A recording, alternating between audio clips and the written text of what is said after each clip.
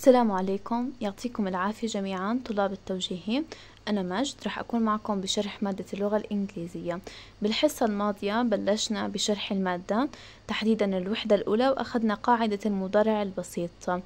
ضل بس علينا نحل أسئلة اختيار من متعدد أو ضع دائرة عليها وبعدين رح ننتقل لقاعدة الماضي البسيط. بيحكي لي هون choose the correct answer from the options. اختر الجواب الصحيح من الخيارات. Number one the earth فراغ around the sun.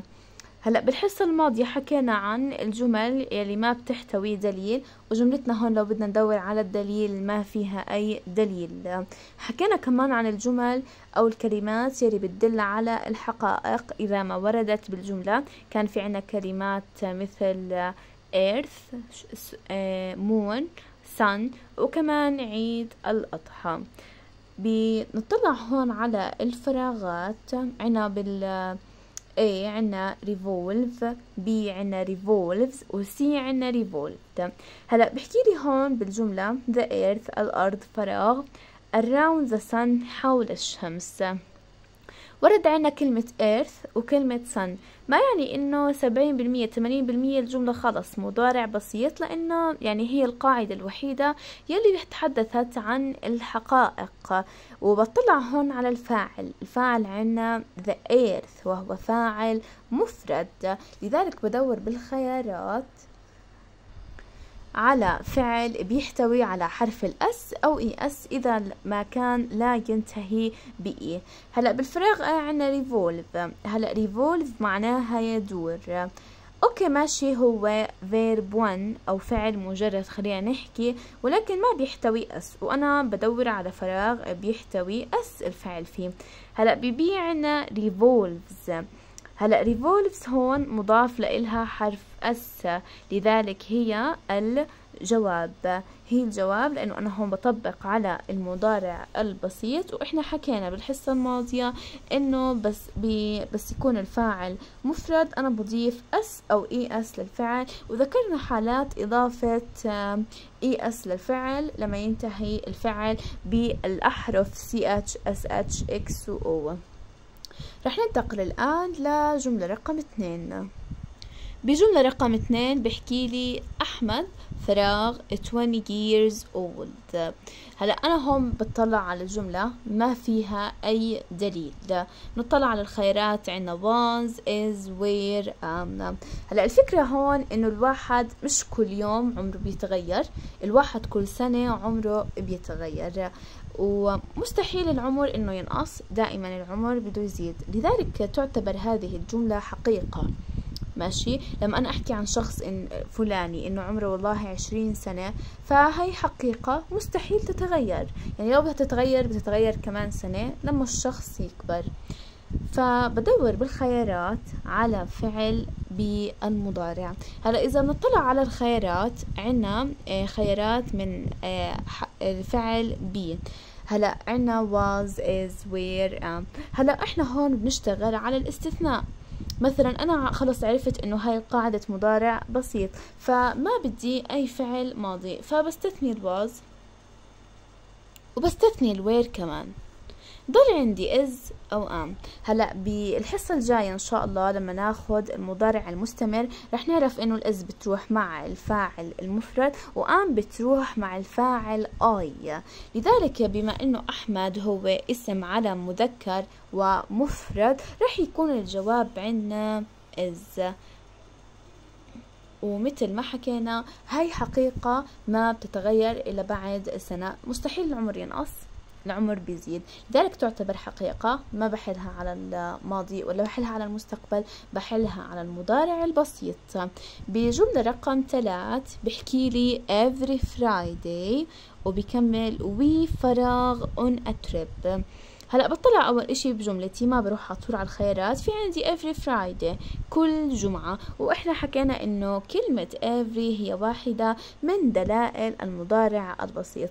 دائما بدور بالجملة على مفتاح حل. أول إشي بعمله بدور على مفتاح حل. أنا هون ما بجيبك تفهم معنى الجملة أو تكون عارف معنى كل كلمة موجودة بالجملة أنا بيهمني إن أنت خلص تعرف كل قاعدة مفاتيح الحل تبعتها وكيف تميز بين القواعد اللي لها مفاتيح حل متشابهة. رح ناخد لقدام شوي آه، العائلة التام. وهدول الثلاث قواعد رح يكونوا وفيهم مفاتيح حل متشابهة ورح أعلمكم كيف تميزوا بينهم. فإفري بحد ذاتها من دون فرايدي تدل على المضارع البسيط. لذلك بدور, بالخ... بدور بالخيارات على فعل ينتهي ب es أو s. أو ما بينتهي بيكون verb one base حسب الفاعل. لو كان الفاعل جمع بدور على فعل ما فيه أي إضافات بيكون فعل مجرد أو verb one. أو لو كان الفاعل مفرد بدور بالخيارات على فعل مضاف لإله s أو es هلا عندنا الفاعل هون we طبعا يا طلاب الفاعل دائما يسبق الفعل في تركيب الجملة. إحنا تعودنا باللغة العربية إنه الفعل أول إشي بيجي بعدين الفاعل. مثلا لما أحكي درست سلمى كتاب اللغة العربية. فعنا أول إشي درست بعدين سلمى. لكن باللغة الإنجليزية أول إشي بيجي عنا الفاعل بعدين بيجي عنا الفعل. ودائما الفاعل يعني حتى مش دائما يعني أحيانا بيكون الفاعل قبل الفراغ. يعني عنا هون we فراغ on a trip هلا we اللي هي نحن اذا هي الفاعل. فهي ضمير فاعل جمع. نحن. لذلك بدور بالخيارات على فعل ما فيه s أو es. هلا نشوف الخيارات. عنا a هي went طبعا ماضي ما ما باخدها بستثنيها من خياراتي. b عنا going. إحنا لسه ما فتنا على قاعدة المستقبل ولا كمان فتنا على قاعدة الاستمرارية. إحنا حكينا آه إنه إحنا لقينا الدليل أو مفتاح الحل وهو every Friday أو every الحل إذا بتحبوا. فبالتالي أنا هون ما بحكي عن الاستمرارية إذا بستثنيها كمان من خياراتي. بضل عندي يا إما go يا إما goes. إحنا حكينا إن الفاعل عنا جمع. عشان هيك بدور على فعل ما فيه s ما فيه es. لذلك جوابي رح يكون go مش goes. لو كان الفاعل مفرد كان الجواب رح يكون goes. ولكن الفاعل عنا جمع لذلك رح يكون الجواب هو جو. رح ننتقل لجملة رقم أربعة. بحكي لي هون every night هدى فراغ story بطلع بجملتي والله أول الجملة عنا دليل. وهذا الدليل هو every night نفس الجملة السابقة every دليل من دلائل قاعدة المضارع البسيط. لذلك أنا بطبق مضارع بسيط. بدور بالجملة على الفاعل بلاقي الفاعل عندي هدى. حكينا كيف بنلاقي الفاعل؟ سبعين بالمية الفاعل بيجي قبل الفراغ. هدى فراغ ستوري هلا هدى اسم علم مؤنث إذا هي آه، مفرد. عشان هيك بدور بالخيارات على فعل وضيف له s أو es حسب حالة الفعل. هلا ب a عنا read وب b عنا reads كونه الفاعل مفرد أكيد رح يكون جوابي هو reads بما إنه حكينا الفاعل هو مفرد الجواب هو reads رح ننتقل لجملة رقم خمسة.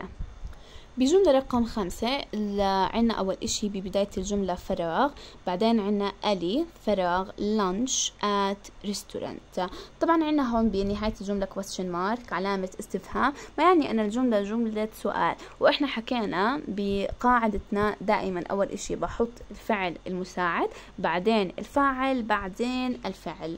بدور هون بالخيارات في عنا does وعنا الفعل eat بالفراغ بي عنا do وعنا eat وبالفراغ سي عنا do وعنا الفعل are هلا أول شي بطلع على الفاعل تبعي.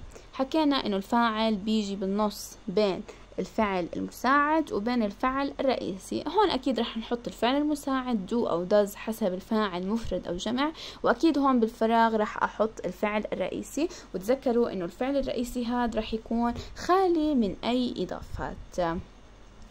هلا عندي هون فاعل ألي وهو اسم علم مذكر. إذا هو اسم مفرد. أنا راح أتعامل معه معاملة المفرد. حكينا المفرد بياخد does والجمع بياخد do. بدور بالفراغات أو عفوا بالخيارات على does. بيضل عندي بس إيه هلأ لو نفترض إنه كان في خيار رابع وكان فيه does بس كان عندي إشكالية بالفعل eat واحد كان عنده فعل base أو مجرد من الفعل. eat والثاني كان مضاف له s. برأيكم مين رح نختار؟ أكيد رح نختار الاي لأنه الفعل لازم يكون مجرد. دائما بقاعدة المضارع البسيط الفعل لازم يكون بالسؤال وبالنفي. مجرد خالي من أي إضافات لأنه فعليا يسبق ب خلينا نحكي آه، فعل مساعد. فتعتبر قاعدة المضارع البسيط إنه استثناء إنه بحالة النفي أو بحالة السؤال. خلاص لازم يجي الفعل مجرد ما فيه أي إضافات لا تصريف ثاني ولا تصريف ثالث ولا مضاف له أس ولا إي أس. لذلك جوابنا الرقم خمسة هو does والفعل eat ننتقل لجملة رقم ستة. بحكي لي عيد الأضحى is a celebration that فراغ on the 10th of ذو حجة according to the Islamic calendar. بطلع على جملتي بدور والله ما فيها أي دليل من دلائل المضارعة البسيطة. فبس عندي هون عيد الأضحى. حكينا إحنا الكلمات اللي بتدل على الحقائق هي earth, sun, moon بالإضافة إلى عيد الأضحى. حكينا إن عيد الأضحى دائما بيجي بموعد محدد من السنة. الهجرية ما بيتغير أبدا. لذلك هو يعتبر حقيقة. كيف مثلا إنه الشمس أو عفوا الأرض إنه بتدور حوالين نفسها وحوالين الشمس وبينتج من كل شيء إشي معين سواء الفصول الأربعة أو الليل والنهار. عيد الأضحى نفس الشيء هو حقيقة ثابتة لا تتغير مثل ما الماء بيغلي عند درجة 100 سيليسيوس كمان عيد الأضحى حقيقة ثابتة. يأتي كل سنة بنفس الموعد في العشرة من ذو الحج ذو الحجة بالرجوع إلى التقويم الإسلامي. هلا أنا هون سؤالي إذا رح أضيف للفعل أس أو ما رح أضيف له أس؟ أكيد عيد الأضحى هو مفرد مش جمع لذلك رح أضيف للفعل آه، لأنه فاعل مفرد وكمان الجملة انتهت بنقطة فهي لا تدل على جمع آه، عفوا لا تدل على سؤال ولا تدل على نفي. بدور بالخيارات إذن على فعل مجرد أضيف له حرف الأس. بإيه عنا بجن. هلا ما رح اعتبرها جواب صحيح لأنه مش مضاف لإلها. اس وأنا فاعل تبعي هو فاعل مفرد وهي حقيقة ثابتة تطبق على المضارع البسيط. اذا أنا بدور على فعل فيه أس أو إي أس. لذلك تستثنى من الخيارات. بروح على الخيار بي عنا begins نلاحظ إنه أضيف لها حرف الأس. إذا تطبق على القاعدة خليها شوي ما رح نأكس عليها. بسي عنا begin هلأ begin آه، هي التصريف من الفعل begin عشان هيك إحنا ما بنعتبرها جواب. لذلك جوابنا رح يكون هو begins إذا جوابنا begins مش begin لأنه لا ما, ما تم إضافة s أو es لإلها. وسي مش الجواب لأنه began التصريف الثاني من الفعل begins. لذلك جوابنا هو begins. رح ننتقل الآن لجملة رقم سبعة. بجملة رقم سبعة عنا سامي فراغ early every morning. هلا كلمة every هي دليل من دلائل المضارع البسيط. لذلك بدور بالخيارات على الفعل المناسب للفاعل. حكينا سبعين بالمية. الفاعل دائما يسبق الفراغ. نلاحظ إن هون عنا الفاعل هو سامي. سامي اسم علم مذكر وهو مفرد. لذلك بدور بالخيارات على فعل مضاف له s أو es خلينا نشوف الخيارات. a عنا get up غلط لأنه لم يتم إضافة s لإلها. b gets up هي صح خليها. وسي عنا getting up. هلا مبدئيا إحنا لقينا المفتاح تبع المضارع البسيط لذلك أنا ما راح أطبق على المضارع المستمر أو الماضي المستمر. لذلك الفراء عفوا الخيار سي خطأ. الجواب الصحيح اذا هو الخيار ب gets up. بجملة رقم 8 الجملة ببلش عنا بفراغ بعدين عنا eating a lot of sweets. فراغ our body's health. هلا الجملة منتهية ب question mark علامة سؤال. إذا أنا هون بحكي عن جملة فيها فعل رئيسي وفعل مساعد. عنا الفعل المساعد يا إما رح يكون does أو do. شغلة تانية كيف عرفت إنه هاي الجملة لو طلعت عليها ما رح ألاقي فيها مفتاح على المضارع البسيط من المفاتيح اللي إحنا نعرفهم always sometimes never وإلى آخره. بس خلينا نركز شوي بالجملة. بحكي لي هون eating a lot of sweets اللي هي تناول الكثير من الحلوى. فراغ our body's health إنه بتجعل أجسامنا صحية. هلا ممكن هون هو بيسأل عن شيء يعتبر حقيقة خلينا نحكي. لأنه فعليا يعني تناول الكثير من الحلوى أصلا ما بيعمل الجسم صحي وإنما يعني ممكن لا سمح الله تنصاب بالسكري فهو ليس صحيا أبدا. لذلك أنا ممكن أحكي عن هاي الجملة إنها جملة حقيقة أو إنها ما راح تتغير ما راح يتغير هذا الشيء. لأنه فعليا إذا رحت على أي شخص بيتناول كثير من السكر من دون ما إنه مثلا يكون في فترات زمنية مناسبة بين كل مرة بياكل ياكل فيها سكر وأكل بكميات كبيرة كمان ممكن لا سمح الله ينصاب بداء السكري. لذلك أنا هاي ممكن أعتبرها حقيقة. هلأ بالنسبة للفاعل فإحنا حكينا إنه دائما بجملة السؤال أول إشي بيجي عندي يا إما do يا إما does حسب الفاعل إذا الفاعل مفرد أو إذا الفاعل جمع. خلينا نطلع هون على الجملة. عنا eating a lot of sweets اللي هي تناول الكثير من الحلوى. هلا ممكن بعض من الطلاب يطلع على سويتس إنه حلوى فخلص بحكي لك هي جمع. بس إحنا حكينا من المره الماضية لما إذا تتذكروا لما أخذنا جملة drinking a lot of water هي شرب الكثير من الماء. حكينا إن إحنا بنعاملها معاملة المفرد وليس معاملة الجمع لأنه هي تناول مش تناولات. هي تناول الكثير من الحلوى. Eating a lot of sweets. بدور على الخيارات على فعل does. مش do. بدور على does لأن eating a lot of sweets تناول الكثير من الحلوى تعامل معاملة المفرد وأنا أعطيتكم إياها ملاحظة الحصة الماضية إنه أي فعل بينتهي ب ing ويسبق باسم يعامل معاملة المفرد ولو أنت ما كنت عارف المعنى في الامتحان نطلع عنا هون eating. فعل انتهى ب ing. A lot of sweets sweets حلوى وهي اسم. إذا عنا فعل ing سبق باسم. إذا دغري طوالي. تعامل معاملة المفرد. نطلع على الخيارات ب a عنا do و make ما do غلط. ما باخدها إذا a غلط.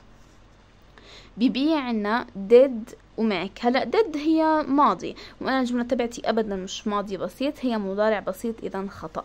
بروح على سي عندي does وعندي make وهي خيار صحيح مئة بالمئة. does لأنه الفاعل مفرد eating a lot of sweets وعندي make التصريف الأول من الفعل. وهاي الملاحظة مثل ما أنتم شايفين عنا فعل زائد ing زائد اسم جمع يعامل معاملة المفرد. بتمنى انكم تتذكروا هاي الملاحظة منيح. هيك إحنا بنكون خلصنا قاعدة المضارع البسيط. خلصنا حل جمل فيها أسئلة تصحح الفعل وخلصنا جمل آه، على أو خلينا نحكي بأسئلة الضع دائرة. بتمنى تكونوا استفدتوا من شرح القائدة ومبلشين السنة بهمة قوية وطموح عالي. ربي يبارك فيكم وبجهودكم ويعطيكم ألف عافية.